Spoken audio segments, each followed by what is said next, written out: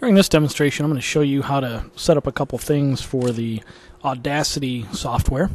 Um, I'm going to go to Start and Programs, and we're going to open up the Audacity software.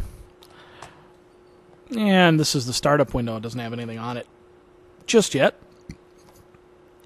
And I'm going to very quickly show you how to add files to your project. Um, you right click, Explore, and we're going to go to the S drive, the shared data drive, and in the Tech Lab folder, under High School, you're going to see an Audio Sweepers folder. I double click on that, and you're going to see several different folders along with a raw voice track. If I click and hold, left mouse click, and drag it down over to Audacity, you can see that it automatically imports.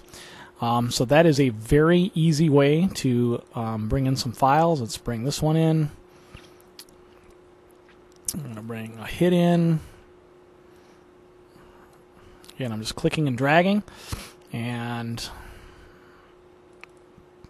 we'll grab one of these as well. And now I've got a whole bunch of things in there.